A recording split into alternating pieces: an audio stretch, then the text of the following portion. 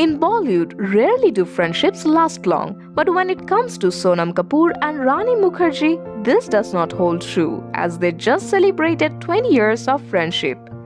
Sonam, who is pregnant with her first child, shared photos with Rani Mukherjee from the latter's recent visit to Anil Kapoor's house on Sunita Kapoor's birthday. With her special post, she celebrated her and Rani's 20 years long friendship. The soon to be mom also sent a belated birthday wish to Rani.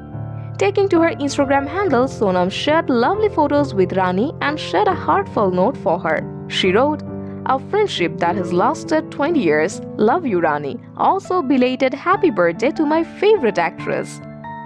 In the photos, Rani could be seen smiling and posing with the soon to be mommy. Sonam was seen clad in a white cotton dress with her hair tied up in a bun and a pair of pearl drop earrings. Seeing the cute photos, Anil Kapoor was all hurt for his daughter and close friend. Have a look at Sonam Kapoor's photos with Rani Mukherjee. Last evening, Rani attended Sunita Kapoor's birthday bash with Karan Johar, Farah Khan, Neetu Kapoor, and others at Anil Kapoor's house. Sonam has been spending time with family since her pregnancy announcement she shared the news this week with a special post featuring her and Anand Ahuja. Since then, the entire Kapoor family has been on cloud nine and are excited to welcome a new member in their family.